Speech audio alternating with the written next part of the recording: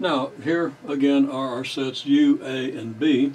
We note that the cardinality of the set U is 8, the cardinality of A is 4, cardinality set B is 4. And the cardinality of A intersection B, which you recall consists just of the letter D, um, is 1. Okay?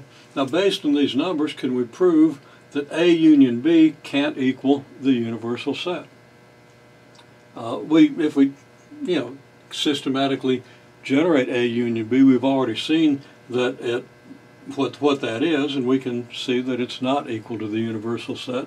But not using that fact, just using these numbers, can we prove it?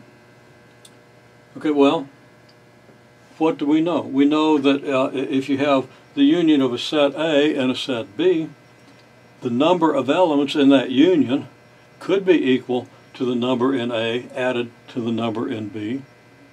But in general, it's not so. Why is that? Because the sets often overlap, and if the sets overlap, then if we add the number in A to the number in B, all the elements that are in the overlap or the intersection are counted among the number that are in A and also among the number that are in B. So we're counting those elements twice. And that doesn't give us the total number of elements in the union. Now, we can prove that by this simple equality that we've talked about.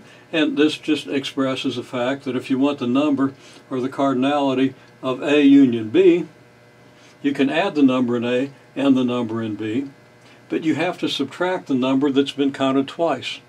And that's the number in the intersection.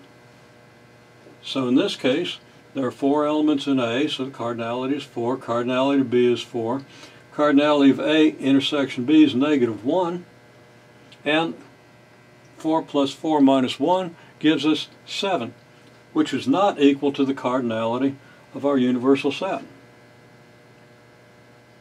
cardinality of the universal set being 8.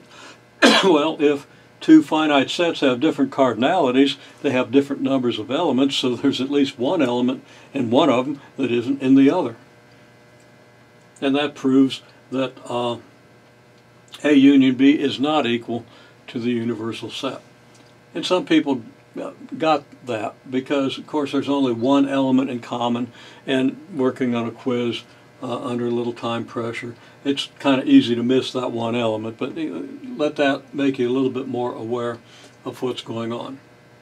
Okay, now we'll talk about this picture in the next video.